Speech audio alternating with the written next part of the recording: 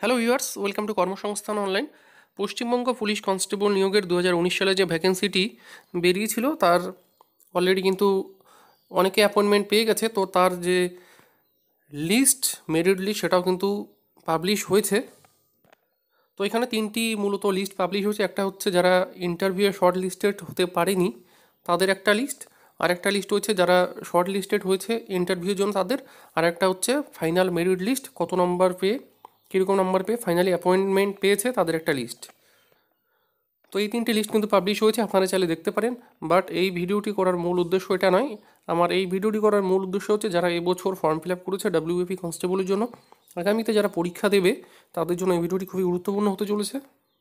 কারণ এই ভিডিওর মাধ্যমে আমি আপনাদের সামনে কিছু গুরুত্বপূর্ণ বিষয়ে তুলে ধরবো, যেগুলো আপনাদের আগামীতে কাজে দেবে, ঠিক আছে? তো আপনারা চাইলে কিন্তু এগুলো ডাউনলোড করে দেখতে পারেন। তো ভিডিওটি যদি হেল্পফুল মনে হয়, অবশ্যই একটা লাইক করবেন। যারা এই চ্যানেলে নতুন, অবশ্যই চ্যানেলটি সাবস্ক্রাইব করে পাশে থাকা বেল আইকনে ক্লিক করবেন এবং অল নোটিফিকেশন অন করে দেবেন। আপনাদের জন্য খুব শীঘ্রই আমাদের একটা বই আসছে, সেটা অবশ্যই কিন্তু আপনারা আমাদের চ্যানেলে পেয়ে যাবেন। তো চ্যানেলের সাথে থাকুন। যারা এখন আমরা টেলিগ্রাম চ্যানেলে জয়েন করেননি ডিসক্রিপশানে লিঙ্ক দেওয়া আছে, সেখান থেকে আমাদের টেলিগ্রাম চ্যানেলে আপনি জয়েন করতে পারেন।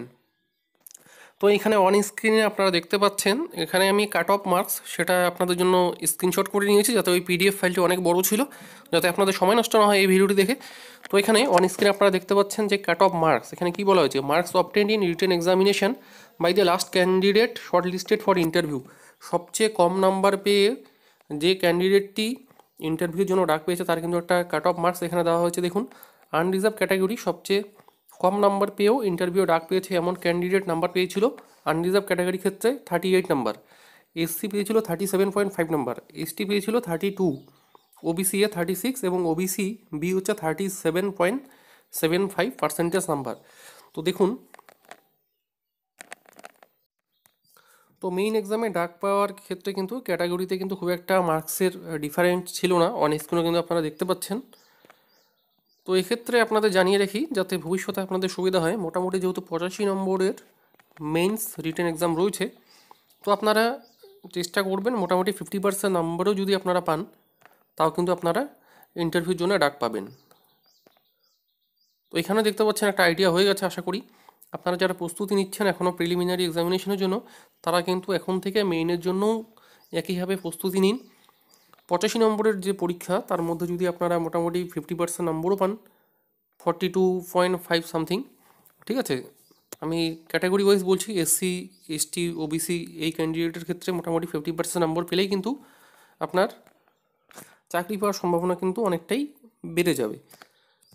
যারা জেনারেল ক্যান্ডিডেট রয়েছে, তাদের মোটামুটি সিক্সটি পার্সেন্ট যদি সঠিক অ্যান্সার করেন মেন্সে তাও কিন্তু হয়ে যাবে। কারণ এখানে আপনারা ইন্টারভিউ নাম্বারটা যদি অ্যাড করেন, তো দেখবেন খুব একটা কিন্তু মার্কসের এখানে ফারাক নেই। যেমন এখানে ধরুন আনরিজার্ভ ক্যাটাগরি ক্ষেত্রে ফিফটি সিক্স টোটাল যারা অ্যাপয়েন্টমেন্ট পেয়েছে ফিফটি সিক্স পেয়েছে। ওইদিকে যদি মোটামুটি পঁয়তাল্লিশ, ছেচল্লিশ নাম্বার যদি কেউ রিটেনে পায়, তাও কিন্তু ইন্টারভিউ এদিকে দশ বারো নাম্বার কিন্তু ভালোভাবেই ক্যারি করা যায়। তো সেটা আপনারা মাথায় রাখুন এখন থেকেই। যারা এসসি এসটি ওবিসি রয়েছে, তাদের ক্ষেত্রে কিন্তু খুব একটা টাফ নেই। মোটামুটি ফিফটি পার্সেন্ট নাম্বার আপনারা চেষ্টা করবেন ওঠানোর মেইনসে আশা করি আপনাদের জব কিন্তু প্রায় হয়ে যাবে। সবচেয়ে কম নাম্বার পেলেও কিন্তু আপনি চাকরিটা পাচ্ছেন। এটা আপনার সিওরিটি থাকছে। কেউ আপনার কাছে জিজ্ঞাসা করছে না যে আপনি র্যাঙ্কে কত নাম্বারে রয়েছেন। তো এটাই মেইন কথা ছিল। আপনারা চেষ্টা করবেন মিনিমাম মেইনসে ফিফটি পার্সেন্ট নম্বর ওঠানোর। এবং ইন্টারভিউ যারা রয়েছে এসসি এসটি ওবিসি এই ক্যান্ডিডেটের মোটামুটি ইন্টারভিউ হলেই কিন্তু আপনারা চাকরিটা পেতে পারেন। তো আশা করি ভিডিওটি অনেকটাই আপনাদের ক্লিয়ার হয়েছে যে কোন বিষয়ে আমি ভিডিওটি করতে চাচ্ছি। আপনার যদি কোনো রকম ডাউট থাকে অবশ্যই কমেন্ট বক্সে কমেন্ট করুন। তো ভিডিওটি দেখার জন্য ধন্যবাদ। আগামীতে গুরুত্বপূর্ণ কিছু ভিডিও আসবে আপনাদের পরীক্ষার উপর ডিপেন্ড করে। আপনাদের যদি কোনো রকম ডিমান্ড থাকে কোনো ভিডিওর অবশ্যই কমেন্ট বক্সে কমেন্ট করে জানাতে পারেন। ভিডিওটি দেখার জন্য অসংখ্য ধন্যবাদ।